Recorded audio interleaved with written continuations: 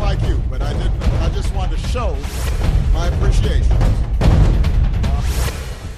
y decirles que este tipo de, de eventos son los que de alguna forma nos ponen muy contentos porque pues nos traen una mejora, nos traen un resultado de lo que me tocó ver a mí como diputado federal y ahora me está tocando ver como presidente municipal que no es fácil la gestión,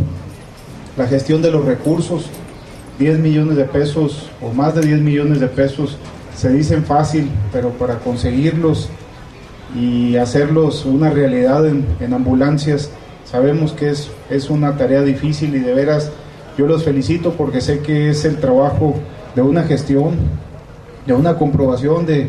de convencer de la necesidad de estas ambulancias, que sé que esas tres ambulancias para Cajeme van a ser muy útiles y por supuesto el resto de ellas para el resto del estado también lo van a ser este, muy muy útiles. Y con eso pues de alguna forma se tendrían más de 60 ambulancias funcionando en todo el estado.